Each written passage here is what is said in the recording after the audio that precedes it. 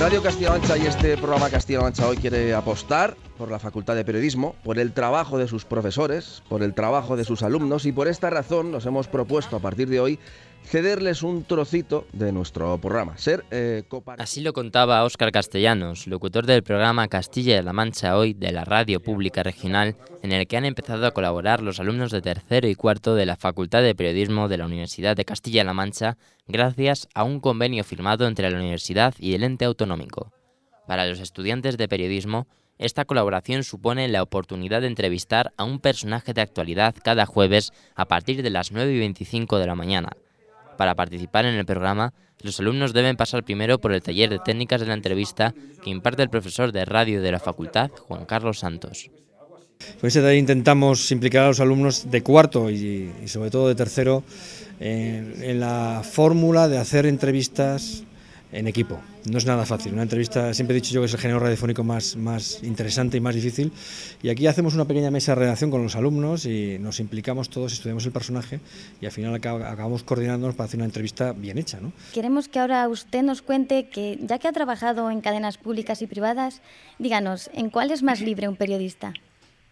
Uf, madre mía, eso depende Mira, depende de cómo sea el periodista, de si se siente libre con una situación o no con otra. Te puedo decir que yo he conocido gente que está más cercana al Partido Popular y se siente más cerca, más tranquilo cuando gobierna el Partido Popular.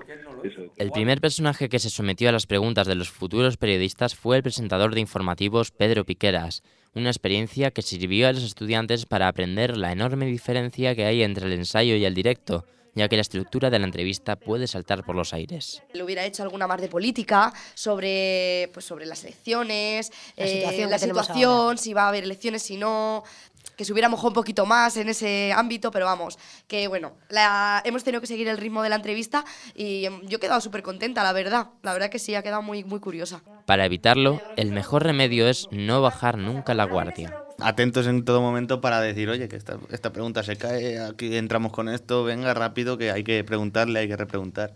Hay que estar ahí, no, no, te puedes ni pestañear ni un segundo porque pierdes el ritmo. Después del periodista albaceteño, los alumnos de periodismo de la Universidad de Castilla-La Mancha han entrevistado a Benjamín Prieto, presidente de la Diputación de Cuenca, a Araceli Martínez, directora del Instituto de la Mujer, y al padre Ángel.